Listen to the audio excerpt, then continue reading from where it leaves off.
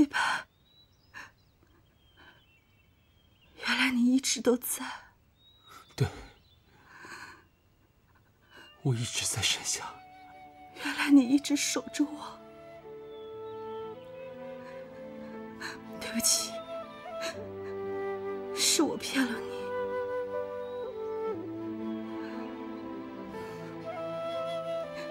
我之所以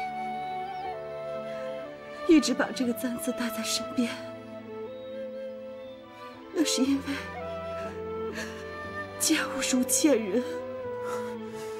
我还想对簪子的主人说，我带着它在身边，还有一个原因，因为我愧对于他，在他身边的时候，我不敢面对自己的内心。可是到分开之后，才明白，原来我的心早就属于他。在这世上，他是第一个偷偷对我好却又不表露的人，他是第一个愿意用生命去守护我的人。飞白，让我做你的花心夫人，一生一世永不分离，好不好？飞白，三公子，别忘了我们的使命。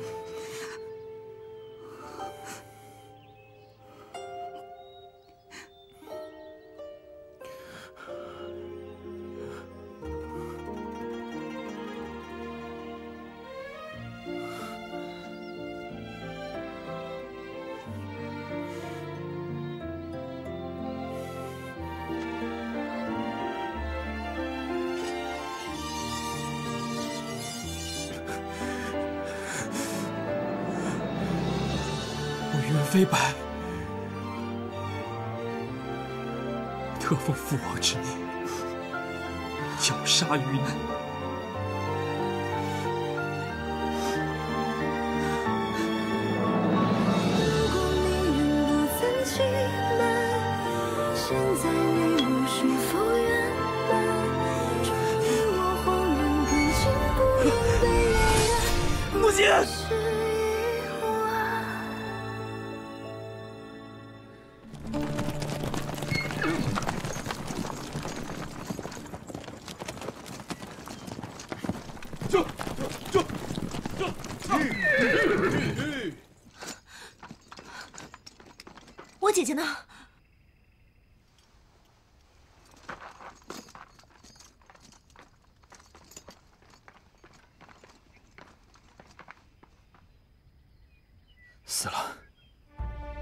可能！袁家已经下了捕杀令，花木槿委身于段氏贼子，侮辱袁家名声，死不足惜。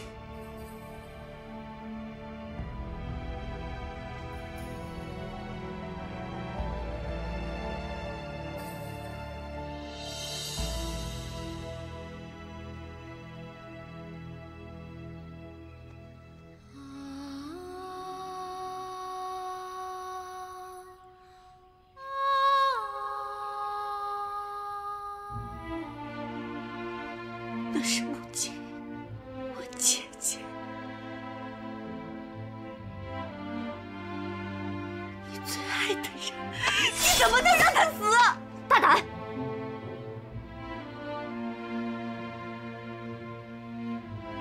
晋夫人，请节哀。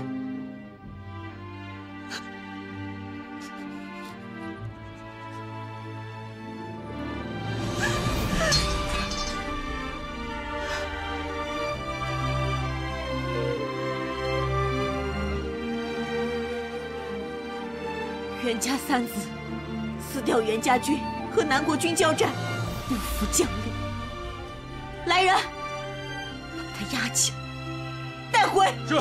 三公子，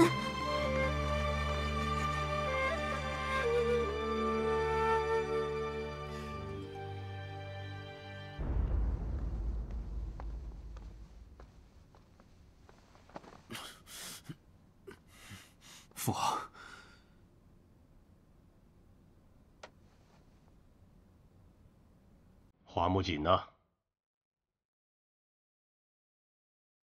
奉父王的捕杀令，孩儿已经亲手杀了他。是吗？是。你受伤了？伤从何来？在射杀敌人时，被敌人所伤。你这一走，已经有一年了。任何事情我都可以宽恕你，但这一次，你错的太离谱了。孩儿已经奉父王之命完成了任务。你身为东营统领，却因为一己之私而置袁家于不顾，甚至导致损兵折将。完成任务，我看你是罪不可恕。来人，把他押到地牢。是。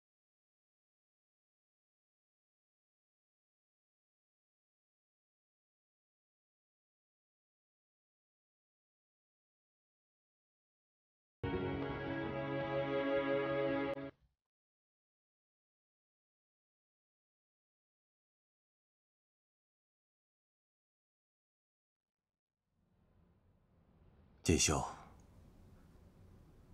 这次你做的不错，回东贵楼吧。我姐姐已经不在了，我住在哪里，又有什么分别？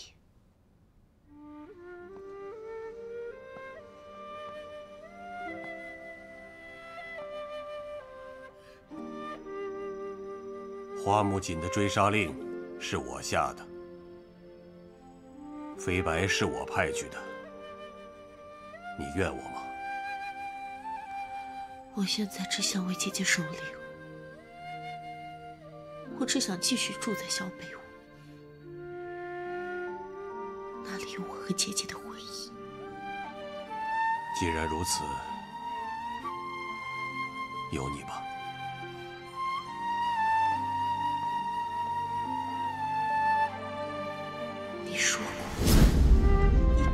我姐姐，她生你生，她死你死，为什么要违背自己的诺言？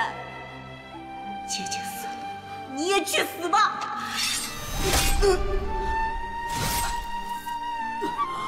你为什么不躲？因为我欠你们的太多了。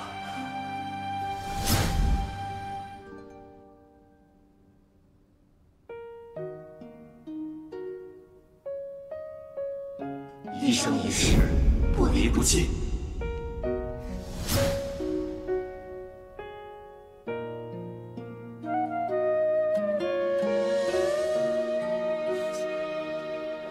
只要锦绣需要，木槿全部给你。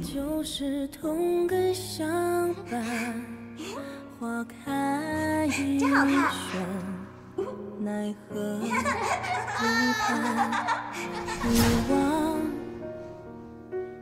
斩不断，这层牵绊，岁月弥多的枝繁。